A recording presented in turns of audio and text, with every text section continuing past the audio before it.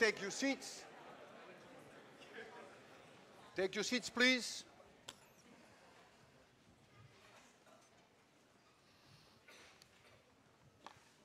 My lecture will be about 40 minutes, and after that, I will give anyone the opportunity to ask me questions for about 15 or 20 minutes. So the whole thing will be one hour. And it is after that hour that we will do book signing. You can buy the books there if you want to, and I'll sign them here. We'll get back to that later. If you have a pendulum, this is a pendulum, mass m, length l, then you can derive, which I do in class, but I won't bore you with that, you can derive how long it takes for the pendulum to make one complete oscillation. And we call that the period of the pendulum. And I derive in class that that period equals 2 pi times the square root of L over G. You already know what L is. If you don't know what pi is, you might as well leave right now.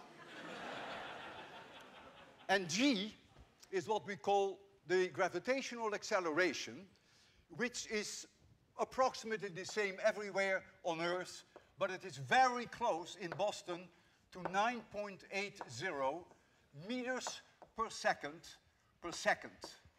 And you will say, well, that's weird, meters per second per second. What that means is that if you have an object and you drop it from a very large altitude, very high, a few hundred meters high, and I dropped it zero speed, after one second, it will have a speed of 9.8 meters per second. But after another second, it will add to that 9.8 meters per second, so it's twice that. And after three seconds, it's three seconds. So now you understand why it is meters per second per second. And so that's the meaning of G.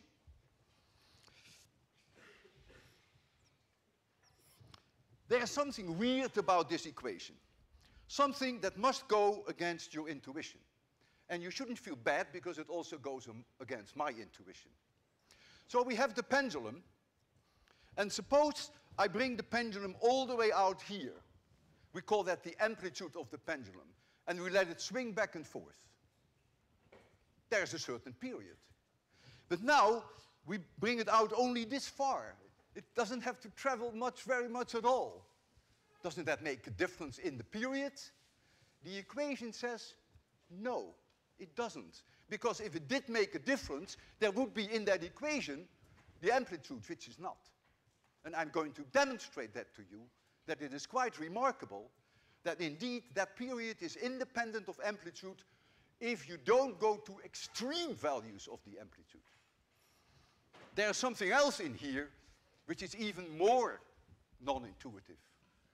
And that is, doesn't it matter whether the bob, we call this the bob, whether it is one kilogram or 500 kilograms? You would think, wow, that must be a difference, must make a difference in the period.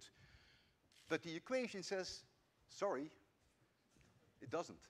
And I'm going to demonstrate that to you too. We have here, by the way, if you ever want to test this pendulum, this equation for yourself, put in L equals one meter and use this number, you will get a period of 2.0 seconds. It's very easy to do at home. You make one, one meter, you put an apple at the bottom, and you swing it. May, the one meter has to be accurate. You see that it's going to be 2.0 seconds. Our pendulum that we have here is really the mother of all pendulums. Look at it. 15 and a half kilograms, and the length of this pendulum is 5.21 meters. However, you must understand that it is very difficult to measure that to very high accuracy. And so there is an uncertainty in the measurement of the length that we have to be honest about because we are physicists after all, and the uncertainty we estimate is about five centimeters. So we could be off by five centimeters. That means that is 1%, 5 centimeters is 1% out of 521. But since L only shows up as the square root, it means the uncertainty in the time that we predict is only half a percent. And if you don't see the reason why the 1% becomes half a percent, that's okay, then just forget about it. You take my word for it. so now, I can make a prediction. So I predict using this equation, that's all I do. I put in 5.21, I put in 9.80, I multiply by 2 pi, and I make the prediction that the period of that pendulum is 4.58 plus or minus 0.02 seconds. Why the plus or minus 0.02? Well, that is the half a percent uncertainty due to the square root of L. And you can immediately see that 2 is about half percent of 458. So my prediction can be no better than that. Now comes the problem. I have to measure the period to convince you that it is independent of amplitude and to convince you that it is independent of mass. So the biggest problem now is Walter Lewin himself, which is my reaction time. How accurately am I able to make that measurement? That has nothing to do with our lack of knowledge of the exact length. Now, the last time that I gave this lecture with the pendulum is 12 years ago. I was 63. And at that time, I told the class my reaction time is a tenth of a second. And it was. but now I'm 75.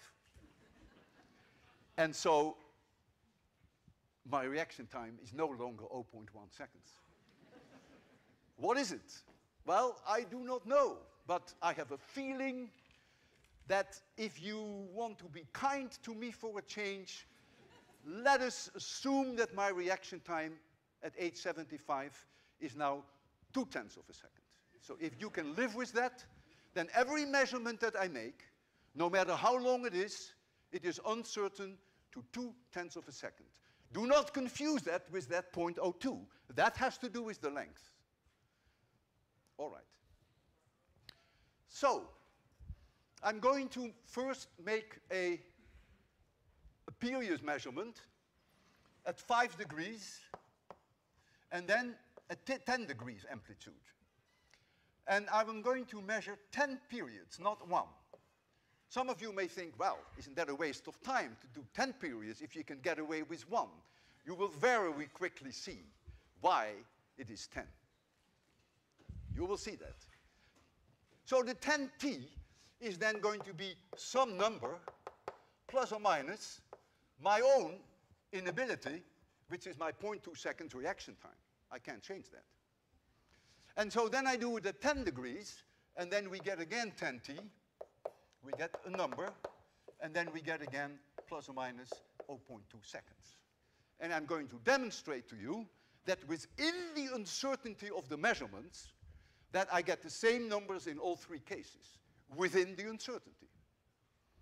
So, if you're ready for that, you see here the timer, all of you can see.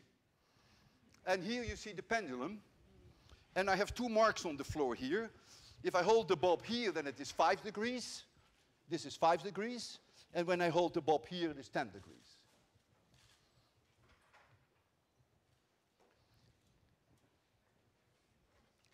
Timing is not easy. The best way to do it is to start the timing when the pendulum comes to a stop that is rather well defined. And then you let it swing 10 times, and then when it comes to a stop, you stop it. And it would help me if you would count how many oscillations we have made. Because then I don't have to look at it. All I have to do is when I come close to 10, I have to watch for the moment of stopping and and then I will end it. So, we'll do this first at 5 degrees.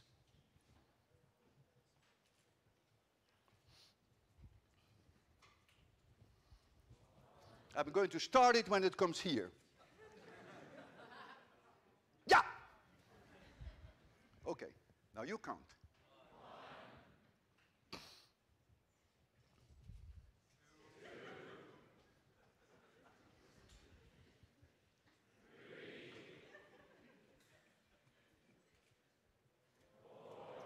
You're doing very well. You're going to pass this course.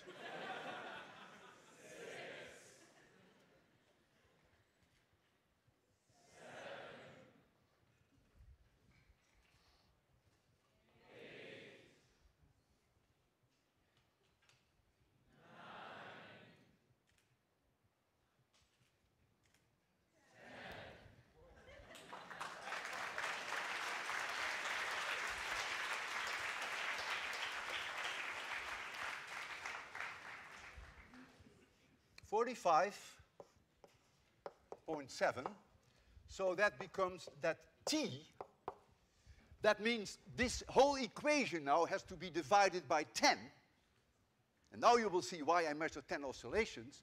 So t is going to be 4.57 plus or minus 0.2 divided by 10. That is plus or minus 0.02 seconds. And you see, comfortably within the prediction. So maybe my reaction time is a little better than two tenths of a second. Don't count on it because you haven't seen the rest yet. So, now 10 degrees.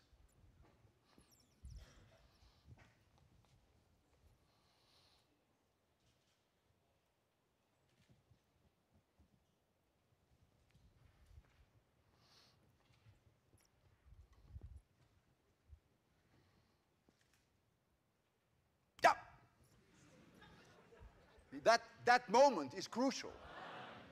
That moment is crucial. That's where you can lose four tenths of a second and then you look like an idiot in front of your students.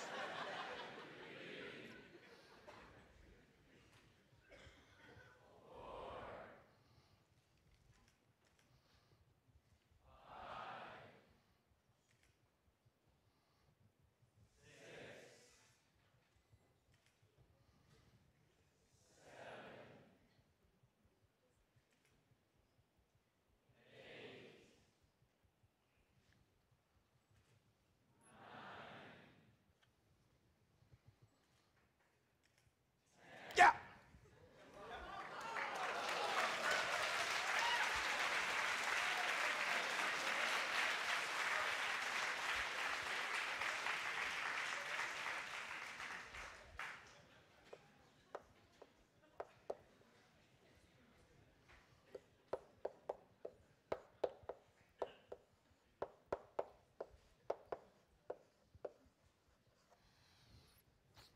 Now comes the hardest part. The hardest part is that we have to change the mass of this object. and the way that I'm going to do that is prominently demonstrated on the cover of my book.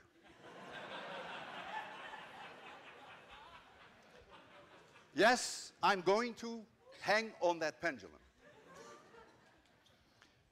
It is a difficult demonstration. First of all, it is painful. It really is. Second, the timing is tricky. Because when you look at the pendulum and when you see it stand still, you know, that is really well defined, plus or minus 0.1 seconds. When you are swinging yourself, however, then you can only do it by sensing the moment that you think you stand still. And that's what I will do. And then you will do the counting. And this is very unpleasant. it is.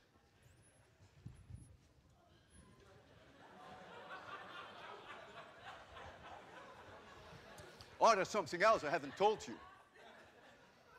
If you're a good physicist, you will say, if you're going to sit on that bob, then effectively you bring the mass of the bob up, and so the length of the pendulum will shorten, and so you get a shorter period.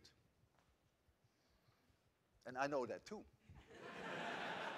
Therefore, I will have to stretch my body so that when it is here, that it is almost completely parallel to the floor. If I don't do that, I will not be able to convince you that the period is independent of the mass. And that makes it very difficult for me.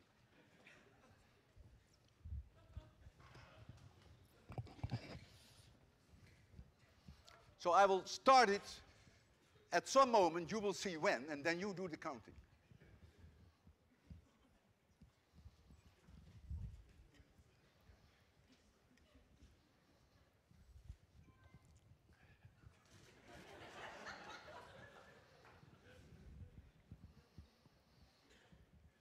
Are you ready? Okay. Yeah. You count.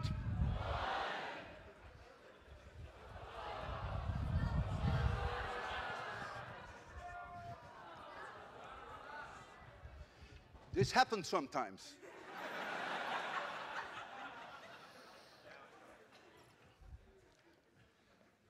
and in fact, nobody knows why. Have to start all over. I did not stop it, I really didn't. Oh, it's still counting? Okay, I have enough energy to give it one more attempt, but not to give it two more attempts. Okay. You ready? Okay.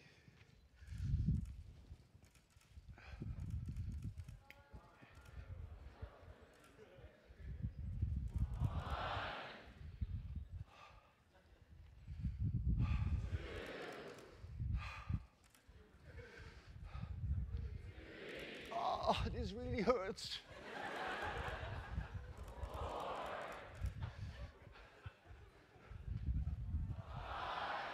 Can't you count a little faster?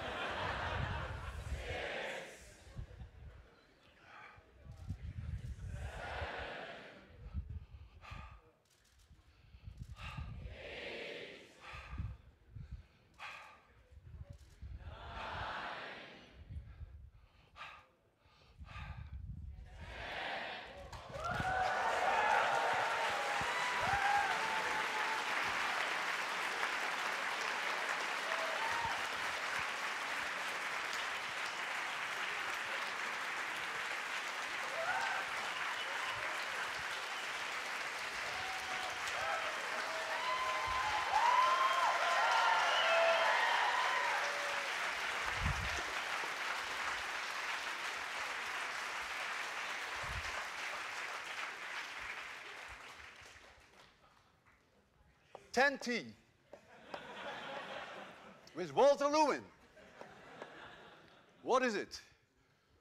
45.9 plus or minus 0.2 period is 4.59 plus or minus 0.02. I told you, physics works.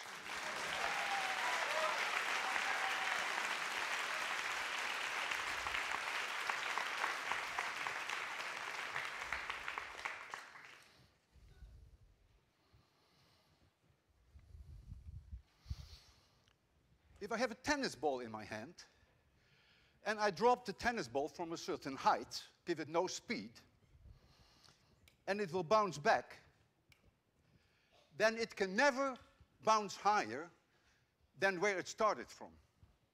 If it did, then we physicists would say that is a gross violation of the conservation of energy, and that is the holiest of all laws in physics.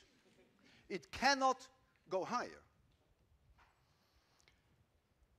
Suppose the object has a mass m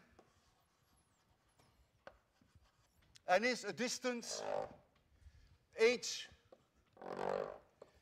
from the floor. Here's the floor, here's the object, h.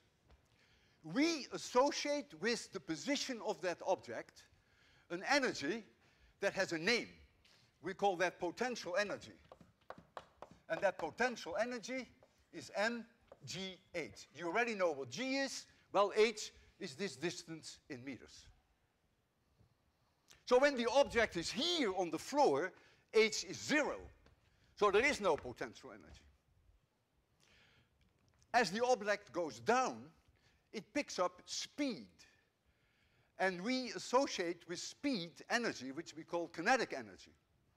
And the kinetic energy of an object with mass m is 1 half mv squared. m is the mass, and v is the speed of that object. If the object goes down and it hits the floor, then the potential energy is zero, and all that energy is now converted to kinetic energy. Because energy, we believe, is conserved. Now, when it hits the floor, some of that kinetic energy may be converted into heat because of the compression. If it were a tennis ball, that would certainly happen. So in other words, when it bounces back, the total energy is no longer the full mgh, but is a little less, and so it won't bound as high. But there is no way that it could come up higher than h. Suppose it could come after one bounce up here. Well, that would solve the world energy problem. because you simply sit down and you watch the ball game, and there goes the ball, higher, and the second one, it goes again higher. But why? If it goes the first time higher, it will do that the second time. And so after an hour, that thing is about a few thousand meters in the sky. And when it comes down on the floor, it has an enormous speed, great amount of kinetic energy, and so you got energy out of nothing. But there is no such thing in physics as a free lunch, so that's not going to happen. so the object can never go any higher than h. And with a tennis ball, there is also what we call the dissipation of heat when it hits the floor. Now, the situation is difficult with a pendulum because a pendulum doesn't hit the floor, and so there is no heat loss because it doesn't hit the floor.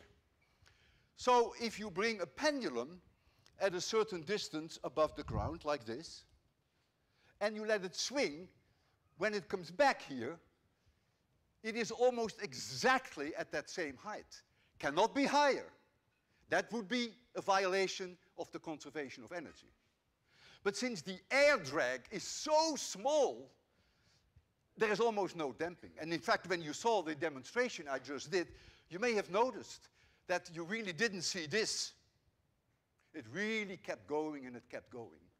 As long as you realize that if I release it from a certain location with zero speed, it can never, when it comes back, be higher than that location. This whole idea is behind demolishing buildings. With a building demolishing, you take a huge mass, you lift it up over a distance h, and then you put your target, which is your house or whatever it is, right at the bottom when all this potential energy is being converted to kinetic energy, and so this object is hit with an enormous amount of energy, high speed, and you demolish thereby the wall. Here we have a glass plate. You better go out of the way because this is a dangerous experiment. it's a glass wall. So if I bring this object exactly at that glass wall, and if I'm clever enough to let it go with zero speed, it could not break that glass. But if my hands shake a little, and if I give it a little push, then of course it can come back and it may want to go higher than this, and that would mean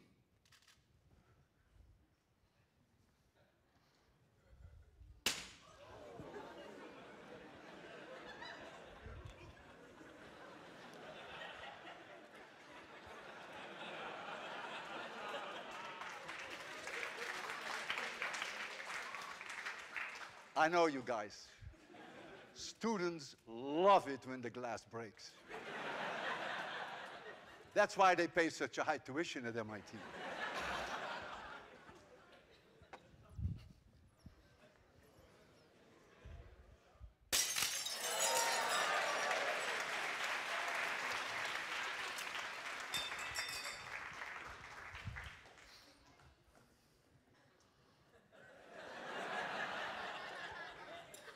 That's okay, just take that off. Now comes an experiment which is emotionally the most difficult for me of this whole evening. I'm going to put my life on the line to show you that I'm really a believer of the conservation of energy. And you will see how I'm going to do that. I'm going to take the place of the glass. And I'm going to hold this object at my chin. And I cannot move any further back, so there's no cheat here. I'm going to release it right from my chin here. You realize, as you have just seen, that the slightest push, and this will be my last lecture, and no book signing afterwards.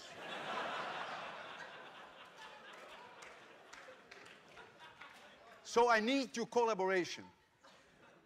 When I count down from three to zero, no noise, no coughing, and I would even appreciate it if for those three seconds you would not even breathe.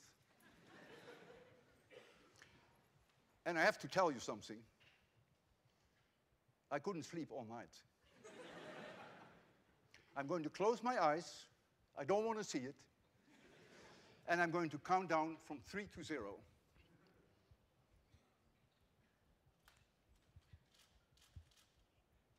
Three, two, one, zero.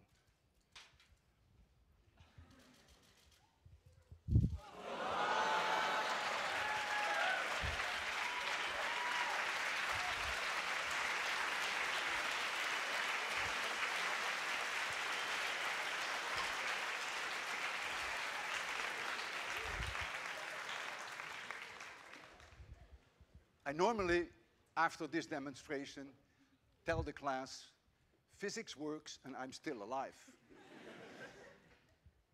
and when an article was written about me in the New York Times a few years ago, on the second page of the New York Times is the wisdom of the day. And the wisdom of the day was, physics works and I'm still alive.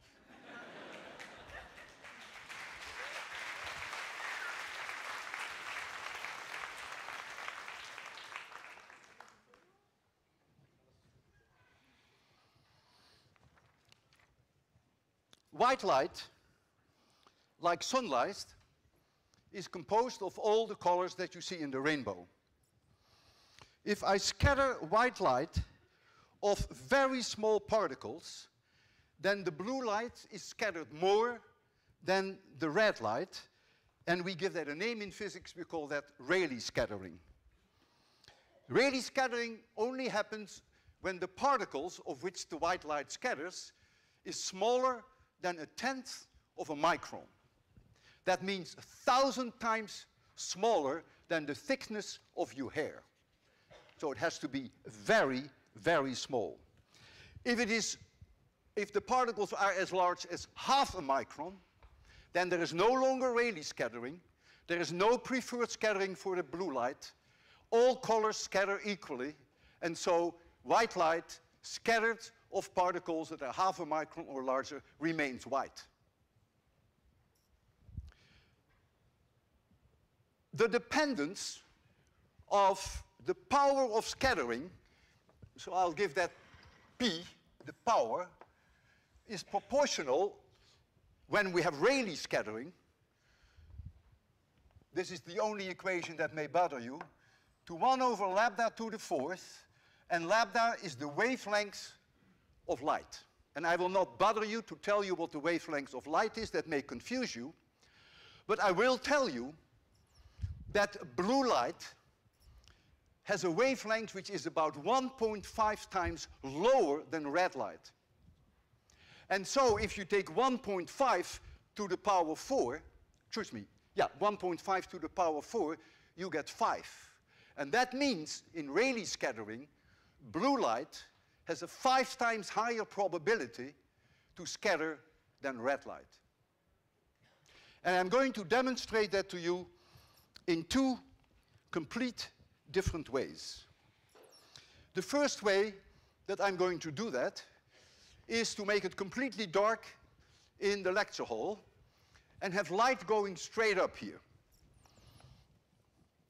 Then I will light a cigarette, and the smoke of a cigarette has particles that are smaller than a tenth of a micron. And so the light that you will see that is scattered off the smoke will be blue. So you have seen in front of your own eyes Rayleigh scattering because the red light more or less goes through. It is really the blue that dominates it, that has the highest probability. So we're first going to do that demonstration to show you Rayleigh scattering of cigarette smoke. And then I have a surprise for you to also show you Mie scattering. But let's first do the Rayleigh scattering with cigarette smoke. This is also not a pleasant demonstration. For those of you who think that lecturing is easy, no.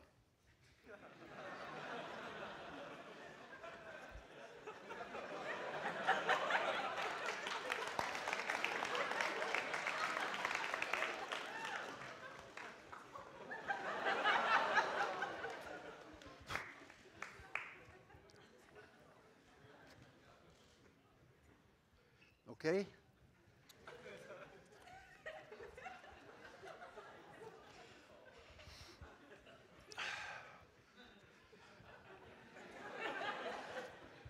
Going to make it completely dark, and then I'm going to hold it in there.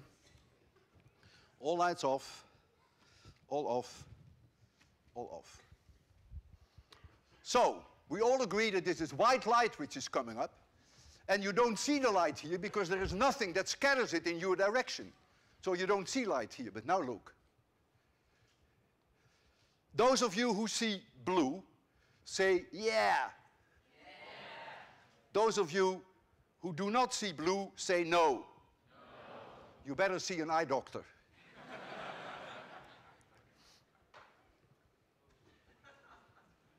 now comes the hardest part. If I inhale the smoke and I leave it in my lungs for a minute, there is water vapor in my lungs, and this water vapor will precipitate onto these very small smoke particles. And so the smoke particles will grow. They will become small water drops, larger than 0.5 microns. And that means if I hold it one minute in my lungs and puff it out, you will not see blue light, but you will see white light because you're now in the Mie scattering domain. All colors scattered equally. I will tell you that just before I puff it out, and you will see the white smoke, I will just before I do that, I will remind you of the color that you see now.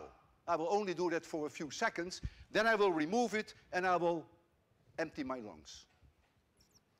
Terrible demo.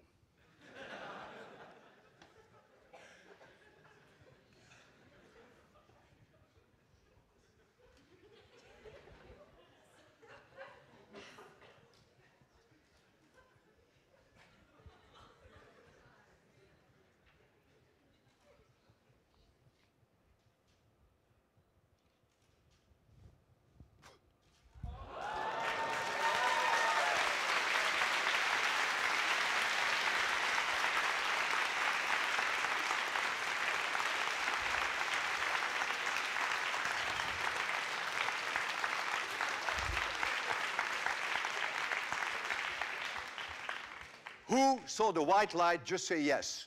yes. If any one of you has the courage to say no, who did not see white light?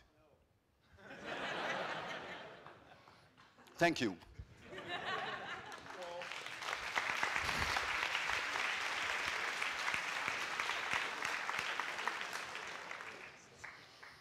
And now going to explain to you, in fact, you could probably guess that, why the sky is blue and why clouds are white. Clouds consist of very small water drops, surely larger than half a micron, which is Mie scattering. So the white light of the sun scattered off the cloud, white remains white. So you now, for the first time in your life, may have an explanation why clouds are white.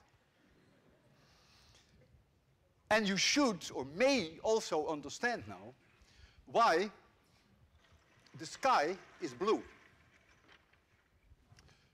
Here is the ground, and you are here. And here is, say, roughly the top of the atmosphere. And the sunlight comes in like this. The sun is infinitely far away, so the sun comes in like this. The atmosphere is full of very small dust particles, smaller than the tenth of a micron, and even the density fluctuations of the air molecules themselves are clearly smaller than the tenth of a micron. And so you get ideal Rayleigh scattering. So white light comes in, you're standing here, but what is the light that comes to you? Predominantly blue. So the sky is blue. The light that is scattered here comes to you is predominantly blue. So that's why the sky is blue. And so the reason is simply that it is Rayleigh scattering of the dust particles in the atmosphere. If the sun is high in the sky, the total amount of sunlight that is scattered in your direction is only 1%, so it's very little. If the sun is five degrees above the horizon, then the sunlight has to travel through a lot more atmosphere. And so I take here a situation which is extreme when we have sunrise or sunset. So the sun is there and the light comes from this side and you are standing here. This is not to scale. This layer of atmosphere is now so enormously large that more than 99% of all the sunlight on the way to you is scattered away. So what is scattered away? The blue is gone. But if you look at one overlap that to the fourth, the green is gone. All colors are gone. There's only one color which has the largest wavelengths, which by the way is 650 nanometers. I wasn't supposed to tell you, but I decided. so the only light that makes it through you is red. And so that is the reason why the sun looks red, and this, there is a cloud here in the sky, and that cloud sees light where all the low small wavelengths have been scattered out, and so this side of the cloud is also red. You can now understand that the more pollution there is in the air, the more beautiful sunsets are. and it is well known that after volcanic eruptions, the sunsets and the sunrises are truly fantastic. It's also the moon that is red when it comes up. And even the stars and the planets, you may never have noticed it because it's not an overwhelming thing. It is the sun that is the overwhelming thing that makes the entire sky red. And so, I have decided that I'm going to create in 26100 a blue sky for you and a red sunset, killing two birds with one stone. And for the physicist in my audience, I'm going to kill three birds with one stone. But the third bird comes a little later. I have here a bucket which is filled with sodium thiosulfate in this bucket. And when I turn the light on, you will not even see any light from that bucket. Nothing is scattered in your direction. I think of that as being the sun, by the way. Now I'm going to add a little bit of sulfuric acid. And when I do that, very small sulfur particles, smaller than a tenth of a micron, will precipitate in that solution. Rayleigh scattering. And so the light that will come to you is blue. And you will see blue light, just like with the smoke. But now, as time goes on, we will get more and more and more and more of those 0.1 micron particles.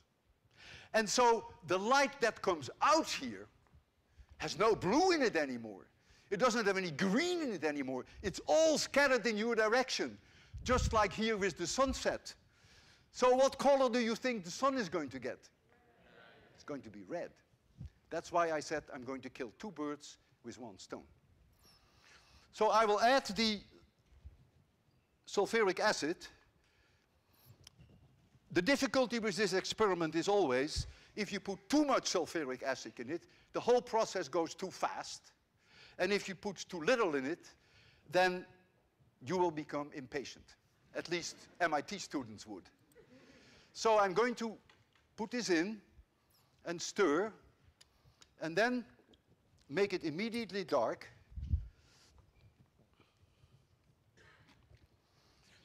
And I want you to look at the sky, which is here is the sky.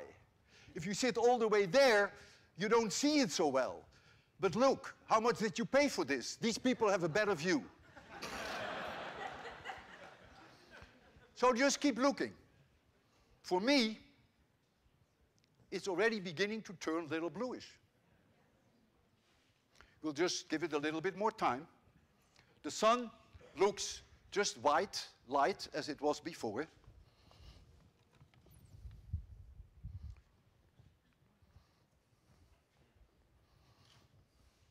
I always have a backup, you see. If this takes too long, then what I do, I add another teeny weeny little bit of sulfuric acid.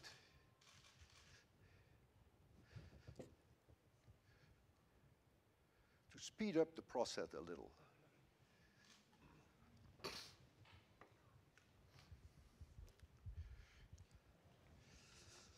I see blue light, and when I look at the sun, it looks a little reddish already. For the physicist among you, light that scatters over an angle of 90 degrees, this light that scatters in this direction, the people who pay the most tonight, who are sitting right here, the light is also linearly polarized. That was also the case with the, with the smoke experiment, but I didn't mention that. But for those of you who are sitting here, I can show you with my polarimeter, when I rotate my polarimeter, that I can the blue sky completely dark, and I can the blue sky completely bright again. The people who are sitting there, the angle of scattering is not 90 degrees. So they won't see it so well. But you people see it very well, don't you? 100% polarized.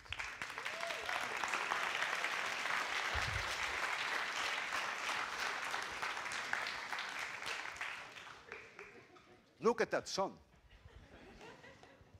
Let's face it, isn't this incredibly romantic? In 26100, the center of MIT, you are seeing in the lecture hall a red sunset. And in fact, the sun is so red now that I think the sunset is very close.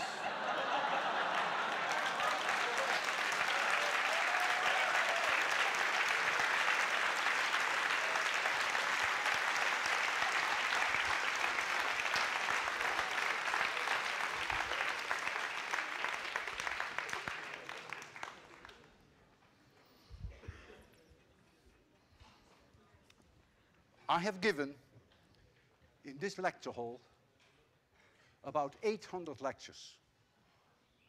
And it is wonderful to be back here. But it really hurts to know that this is my last lecture in 26100. I have therefore decided that I want to leave you in style. And the way I will do that is to leave 26100 in my own private rocket.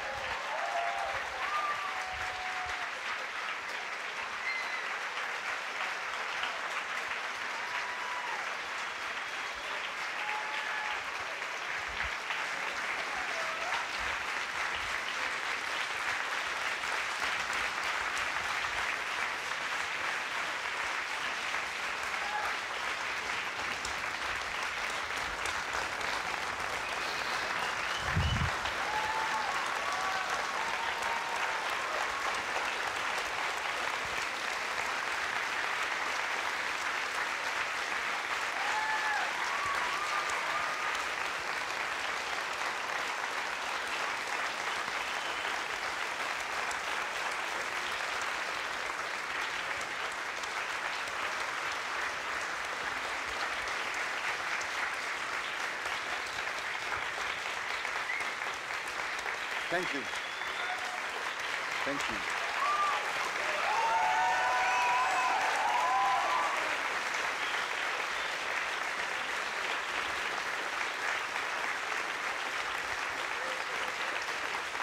Thank you. So now we have about 15 minutes left for questions. And if you have a question, raise your hand. Then Claire will come to you with the microphone. And then I hope we can communicate that way. You phrase the question and I will try to give the answer. So who wants to go first? There's a person there. Yes, we see your hand here. You'll come next. Thank you for a beautiful lecture. Um, I'm tempted to ask you what pi is. It's not so easy for me to understand you. Uh, thank you for a beautiful lecture. I'm tempted to ask you what pi is, but I think I better ask instead. Well, Uh, have you ever, ever had gone to a Thanksgiving dinner? Uh, Then you know okay. what pie is. Um, are you familiar with the alleged phenomenon of a green flash at sunset? and the and answer is yes. Can you explain that, please? I've seen it many times. The explanation is not as simple as you may think. I would suggest, and I, may, I mean that seriously, since it, a short answer is not possible, that you look it up on the web. It's well described. I have seen it many times in Austria in the mountains. That indeed, the last fraction of setting of the sun, that you may, but not always, see a green flash. And if you ever want to see it, you have to be with two people. One person has to be standing next to you, and you should not look, not look at the sun. Because if you look at the sun, even though there's almost no sunlight left, you still, your, your retina is still too overexposed. And so the person next to you, when you look like this, should, should say, Look now! And then you look, and that's the way it is.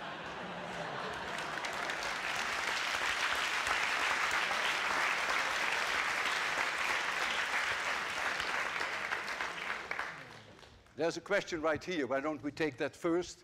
And then there's, there's a woman over there. And this gentleman, oh, also, yeah. Well, I just want to thank you for the lecture, and I was wondering, As a youngster, um, as a, in a youngster, I read a, a book which told me to stare at the sun, then I can change things by staring at things. Now, what I, what I did was, I used to stare at sun at sunset, You stared at the sun sun at sunset. at sunset. Sat for a few. Not a very good idea. You I have to be very I- I found out the hard way. And so you damaged your eyes and you asked for it. Okay. uh, I got it. Um, but the, the, the key thing was that I after that I was supposed to stay at a white wall, which I did. But, but I saw a, wa- a, red, know exactly what you saw. spot moving around wherever my Probably the spot was not red but green. Uh-huh. It's a well-known phenomenon. So you have indeed done something to your retina, uh-huh. and that is the message that is sent to your brains, then tell you the green after effect. It's very well-known effect. Uh-huh. You don't even have to look to the sun. You can even do it with a light like that and stare in that light for some time, and then all of a sudden look at the white wall, and you see a different color. It's a very interesting thing. And physics cannot explain that. But you see, this is, this is neurology. And so it's not our responsibility to explain it.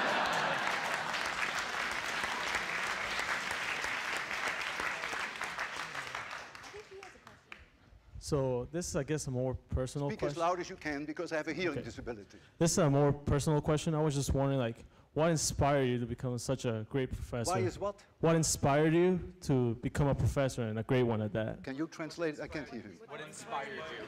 Why is what? What inspired you to become a professor? Oh, that was luck. I had my training in nuclear physics, and then I had some offers for one year postdoc to the United States. And for reasons that are not so clear, I picked MIT because a whole new field was born here in Cambridge, Massachusetts, initiated by Professor Bruno Rossi, who was at MIT, executed beautifully by Riccardo Giacconi, who received not too long ago the Nobel Prize for that. That was the discovery of X-ray astronomy.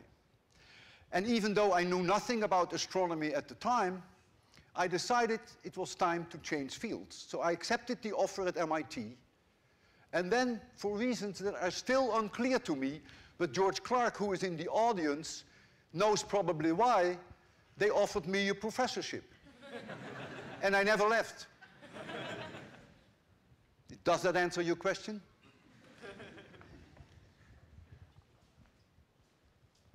Yeah, you need the microphone here.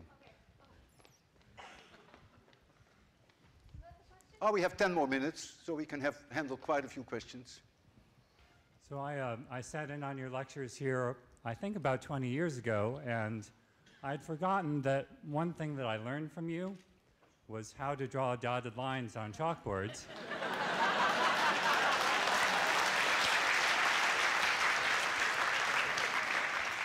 Which I actually used myself when, uh, when I was a professor for some number of years, so very useful skill. But, but here's what I'd like to ask you. I'd like to ask you uh, when you started uh, teaching uh, physics and how your lectures evolved over time. How, what was the last question? Uh, how, uh, Didn't get it. How did What- your lectures evolve over time? Yeah.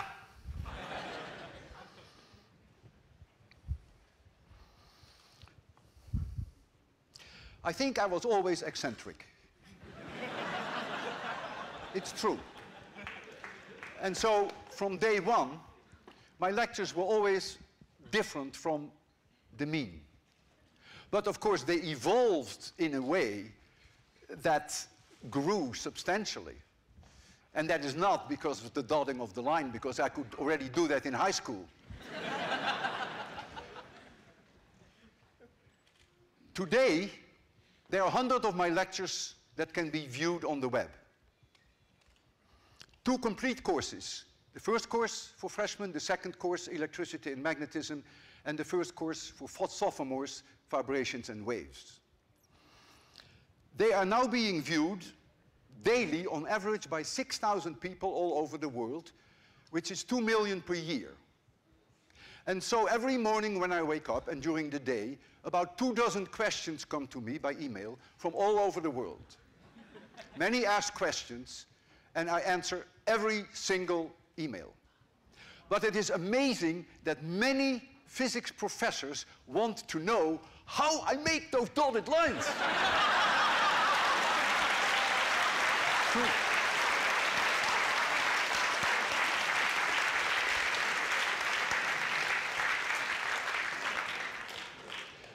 There is a two minute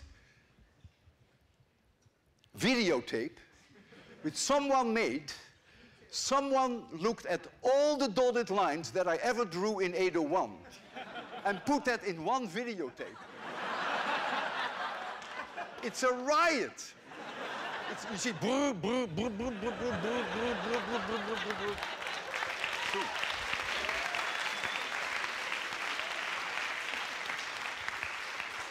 Okay, we have time for a few more questions. Yeah, Anna. Anna, please use the microphone, although I'm so close to you that I can probably understand you. Anna is my Facebook friend. I have an art quiz on Facebook twice a week. And then my Facebook friends who can answer the questions are always mentioned every day that they have the answer right. Anna is at, at or near the top. She almost always has it right. And she sometimes writes me email and she says, Walter, I've worked eight hours on this one. I really have to give up. I don't have more time. Go ahead. What is your favorite lecture of all the lectures that you've given? Like you've done, you know, you do I don't have a favorite one.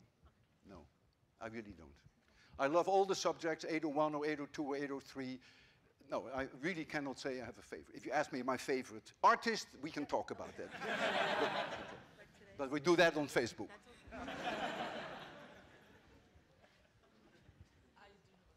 There is a question here and there's one there. Ah, we have still five minutes for questions. Could you talk about your? Um, Where are we, Claire? Who has the microphone? hello? Do I need to turn this on? It's on. I'm wondering how rainbows relate to race scattering, do they? And How rainbows what?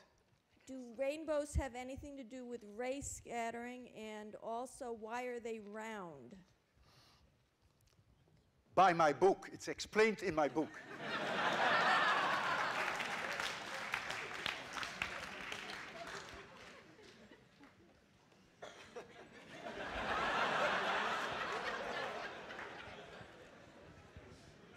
Uh, hi. Uh, how do you prepare your lectures? How, how many time do you take to prepare? It's a very good question. And if I tell you how I prepare them, then my colleagues at MIT are going to hate me. On average, the preparation for one lecture is about 40 to 60 hours. I dry run the lecture in an empty classroom with everything on the blackboard that I'm going to write on the blackboard, pretending that there is a full class in front of me, but there is no one. And I talk to them as if there is one. I do that two weeks before the lecture. In general, the lecture is then a little bit too long, so I have to do some surgery. Then one week before the lecture, I dry run again. Then I'm very close to the time. And then 5 a.m. of the morning of the lecture, you can ask my wife, I am at MIT, and I give the same lecture, dry run for an empty classroom at 5.30 in the morning, when the lecture is at 10 and the same lecture is at 11. That's the way I prepare. Don't tell my colleagues, they will hate me.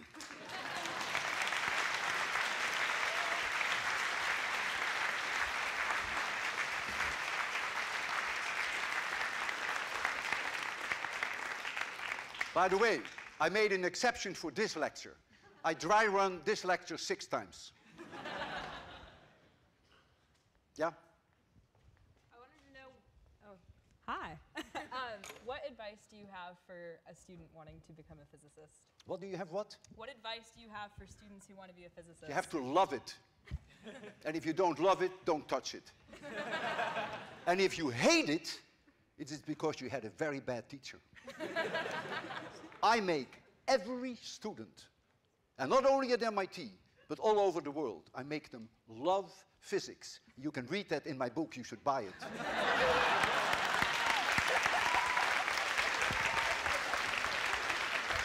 One more question. Okay, one more question. Yeah, this gentleman here. What do you do for fun besides give lectures? Art, art history. It's my love. Physics is my life. Art history is my love. Thank you.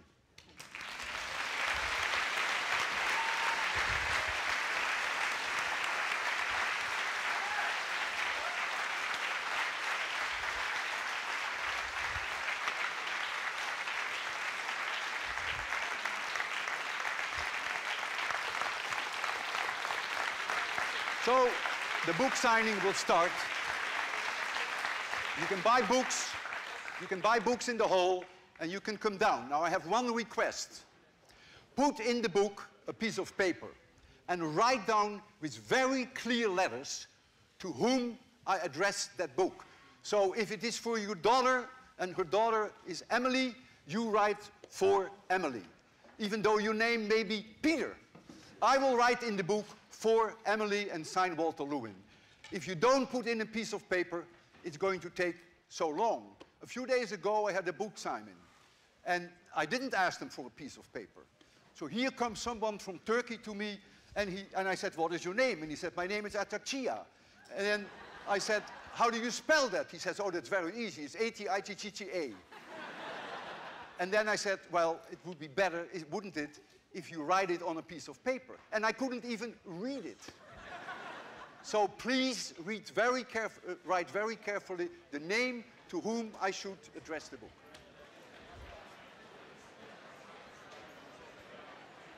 We need a table